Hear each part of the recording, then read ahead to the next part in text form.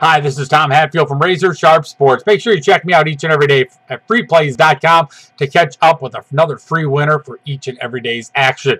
Now, guys, Major League Baseball gets underway in full swing here today, and it's a great time of year right now us here in the Midwest and out east had a, had a very long, cold winter. It's time for the boys of summer to warm things up. Let's get ready for some baseball, and I'm going to give you my predictions here for today and through the uh, rest of the season. We're going to start off in the American League, each division. I like the Yankees in the AL East over Boston. I think that the Yankees will get it done here. It's uh, Derek Jeter's swan song. They'll give the captain a ride all the way through to win the division. In the Central, I got to go with the Detroit Tigers.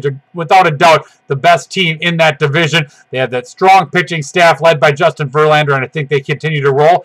And then my team that I expect to really bounce back off a disappointing year last year. Everybody talked about the Angels last year, how good they could be. I think like Boston did two years ago when they were supposed to be decent. They were terrible. They come back last year, not a lot of expectations. They bounce back and win the World Series. I think the Angels will get it done in the AL West. As for a couple wild cards, I do believe that Boston will be in the hunt with the Yankees, so I think the Boston gets a wild card spot, and then the Oakland A's, is the team that's won the division the last two years in the AL West, also a possible wild card spot.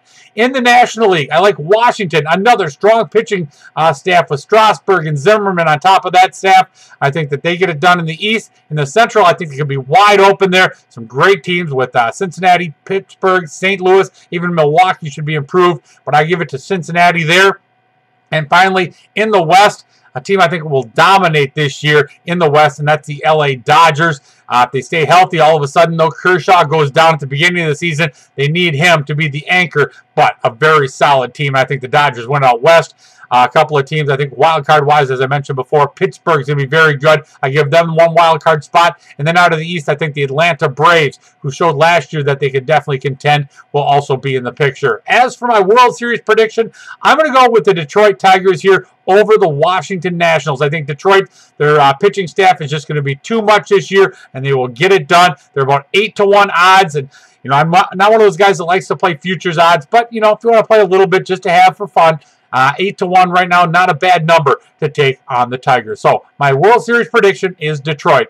Now, if you like these picks, please click the like button below the video or feel free to leave a comment. Make sure you check back for more free videos here on Free Plays TV. Good luck.